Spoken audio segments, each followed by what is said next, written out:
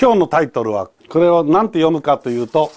英語読みします。251でこれはね2つのセクションからできてます。まずこれです。25っていうセクションと51というセクション。この2つに分かれてます。でこれは一体何を表すかっていうとコード自体に進む力あるコードがね進んでいくっていうことには2つの進み方があるわけ。一つは251で進んでいくっていうやつともう一つはコード自体のケーデンスっていうドイツ語で言うとカデンツって言いますね例えばえトニックからスタートして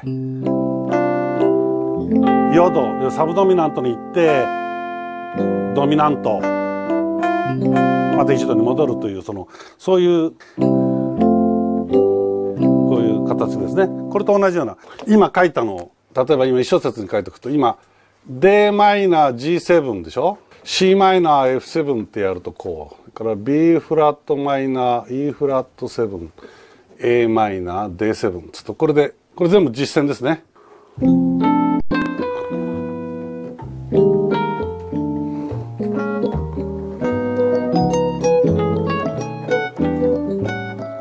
で d マイナー戻りましたこの g マイナーから。